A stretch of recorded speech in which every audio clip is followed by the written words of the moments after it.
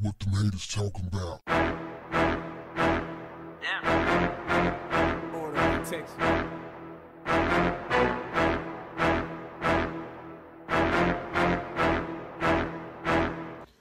What's up, family? Man, we lost another soldier today.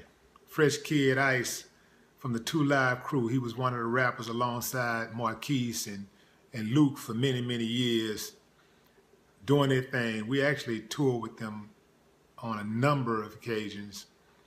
I just got off the phone with their manager, Debo, and yeah, he told me, yeah, it was it was it was true. It's always shocking to hear about the death of somebody that you you know, you know, and, and especially so young. Man, the dude was only 53 years old. A lot of a lot of my contemporaries are falling off.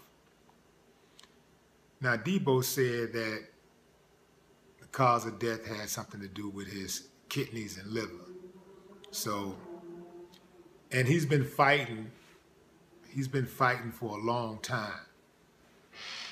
I don't know exactly how much of that was due to lifestyle, you know, what he was eating or whatever.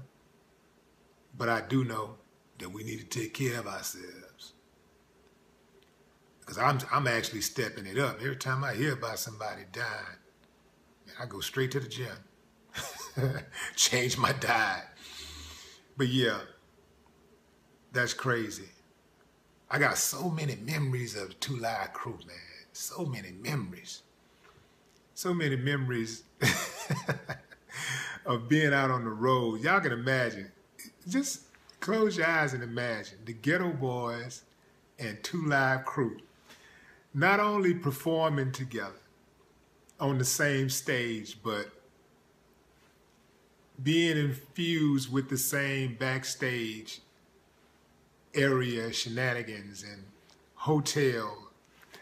Just think about that for a minute. The hotels and the after parties and Geto Boys and Two Live Crew. We had some fun times, man. But yeah, that's a tough one, man. We just lost Prodigy. Seemed like it was yesterday, but I know it was only, it really was, what was it, maybe a couple weeks ago. We lost Prodigy.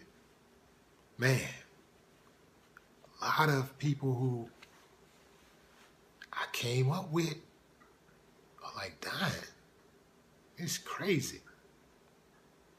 Remember 27 years ago, it was 27 years ago when, in 1990, when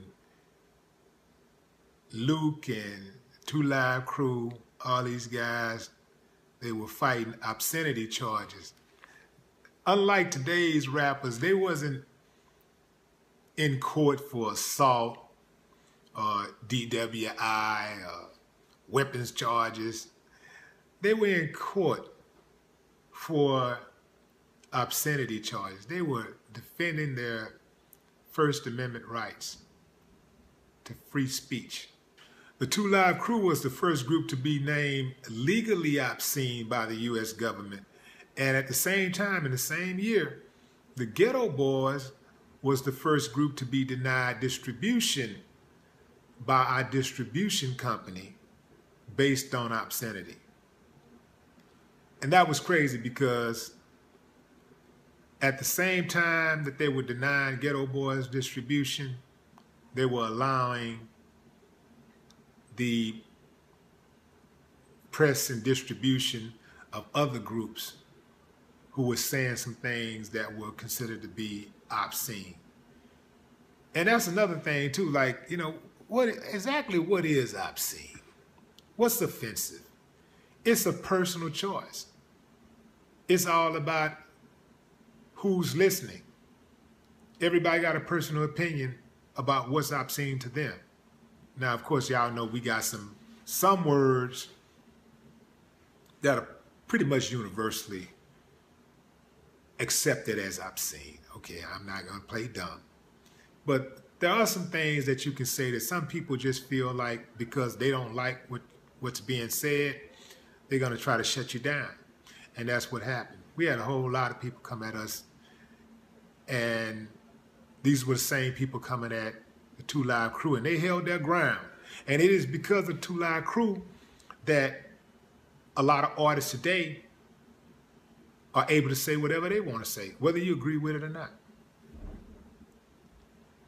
But yeah, man, uh, salute. My condolences to the family. Ice, rest in power. No more talk. What the haters talking about? Order protection.